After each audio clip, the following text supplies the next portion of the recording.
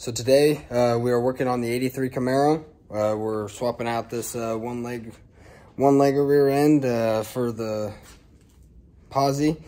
Uh, getting rid of the drum brakes, uh, putting disc brakes, and obviously getting rid of that one legger. probably also going to be taking some suspension parts off of his original 83 car over on the other side of the barn. this got the Berlinetta stuff on it. It's real floaty meant for a good ride, not a not meant for really a sports car. And uh, he wants to swap all the Z28 stuff over.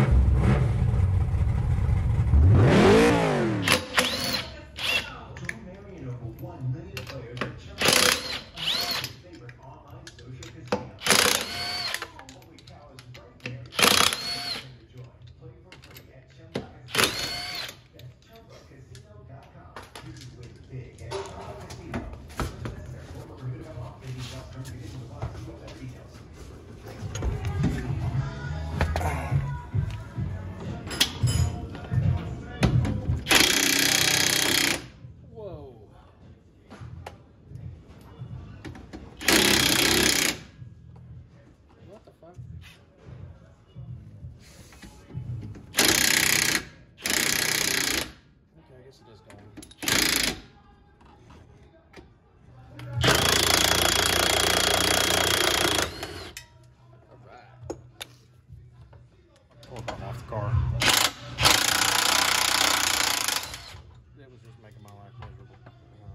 trying to fight that thing and the tension. Okay, see if you can get it. All right.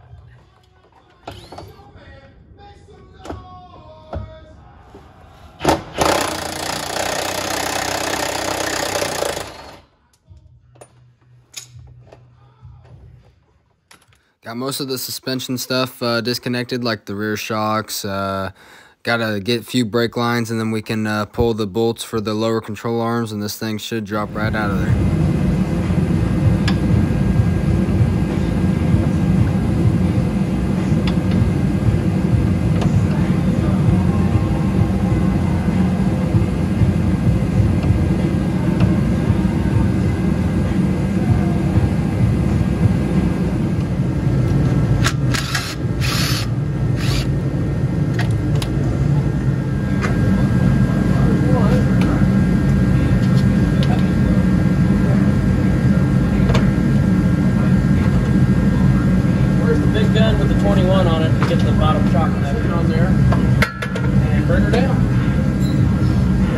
This side of it, gets them in there. Yeah, pop that foot guard bracket off. The rest of the way, I guess. Alright.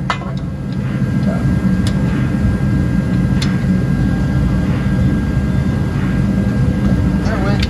Perfect.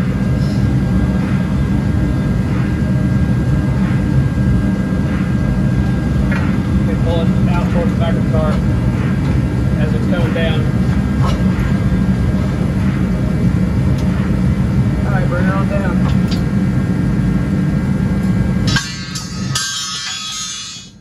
Ding, ding. Well,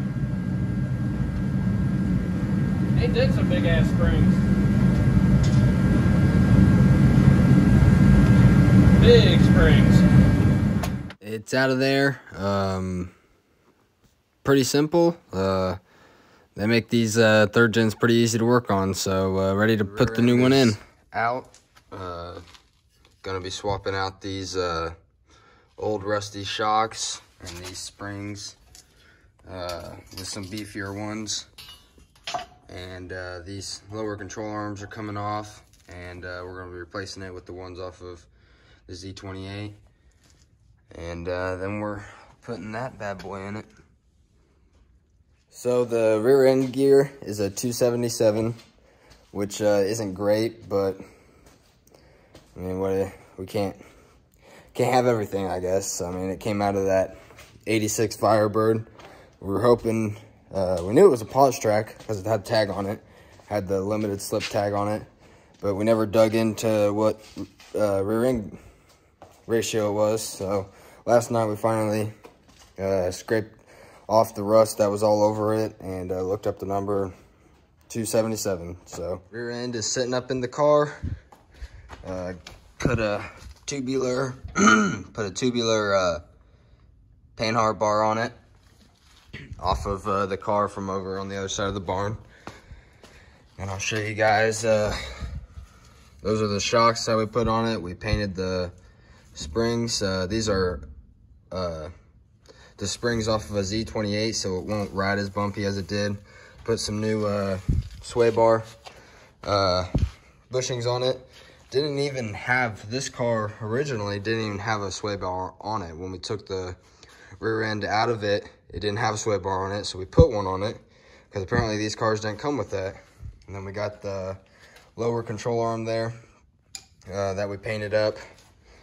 Uh, we found out that this gear, it's a Posi-Trac rear end with a 277 uh, rear gear in it. So it kind of, not what we wanted, but there it is. Everything is bolted in. It's uh, sitting on the ground. Uh, got a little bit beefier uh, springs underneath it now.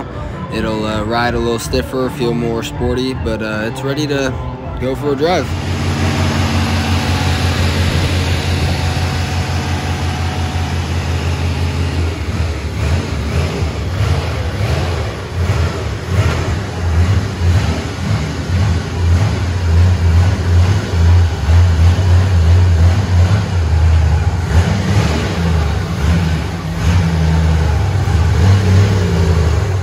About to take it out on its uh, first uh, rip with the Posi-Trac rear end. Uh, we upgraded the springs into it on it with the Z28s. Uh, it also has uh, tubular panhard bar, uh, better than stock shocks underneath it. So it's going to ride a little stiffer, but feel more kind of like a race car. It'll take corners a little better than that Berlinetta suspension would. But looking real nice, looking like a Z28, and about to go see how it rips.